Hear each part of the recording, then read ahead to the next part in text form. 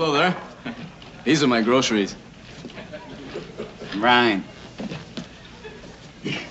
Eggs, I'm new in town. I don't get through these parts much.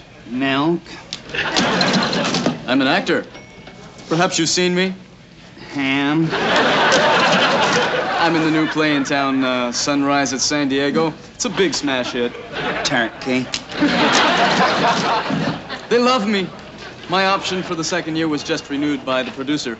Very, very bright man. Fruit cake. Perhaps you've heard of him. David C. Kimmel, one of the most important men in the business. Small potatoes. He doubled my money. of course, you know an actor of my caliber commands a big salary. Peanuts. The deal was made by my agent.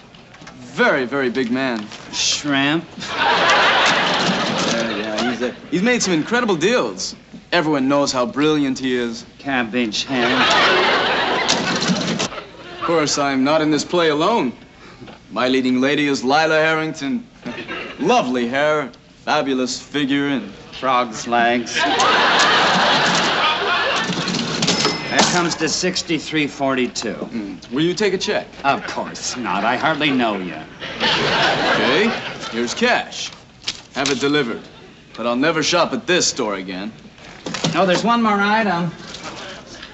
Sour grapes. Uh, I think the best person to learn timing from was uh, was Paul Lynde. He was just funny all the time.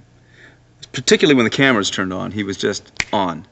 When the cameras were off, he was out of here. Man, he just didn't want anything to do with it. He really hated working with kids. Yeah, he couldn't hate. He couldn't work with it. couldn't stand- But that's what made him funny, because he just wanted to get out of here. You know, just like, he oh, hated it. Them.